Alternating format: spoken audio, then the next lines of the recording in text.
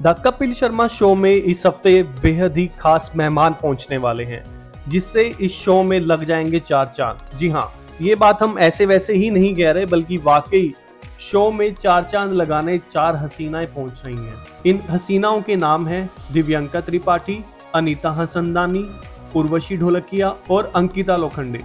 यानी इस हफ़्ते इस चर्चित शो में टीवी की पॉपुलर एक्ट्रेस पहली बार नज़र आएँगी। शो के कई प्रोमो सामने आ चुके हैं जिनमें कपिल सभी हसीनाओं संग जमकर हेल्दी फ्लर्ट करते दिख रहे हैं। अनीता ये जब से नागिन बनी है लोगों ने सांप पालने शुरू कर दिए खासतौर से छोटे पर्दे की फ़ेमस नागिन यानी अनीता के साथ उन्होंने ना सिर्फ़ अनीता का जमकर मज़ाक उड़ाया बल्कि उन्हें सबसे खूबसूरत नागिन भी करार दे दिया।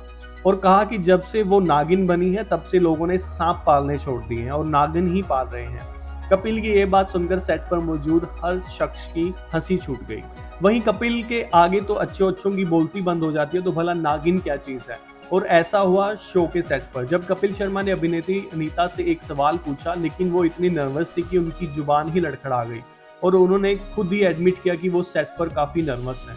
वहीं ये पहला मौका है जब द कपिल शर्मा शो पर टीवी की फ़ेमस वैम्प यानी उर्वशी ढोलकिया पहुँची, जिन्हें आज भी उनके फ़ेमस किरदार कोमोलिका के लिए याद किया जाता है। इस दौरान वो अपने इस रोल से जुड़ी दिलचस्प बातें भी शेयर करती दिखाई देंगी। अंकिता लोखंडे अपनी फ़िल्म बागी थ्री के प्रमोशन के दौरान पहले भी शो में आ चुकी हैं, लिहाजा ये दूसरा मौका है जब वो कपिल के शो में पहुँची अगर आपको ये वीडियो पसंद आई तो लाइक, शेयर, कमेंट करना ना भूले। अगर आपने अभी तक हमारे चैनल को सब्सक्राइब नहीं किया है तो चैनल को सब्सक्राइब कर लीजिए। Thank you.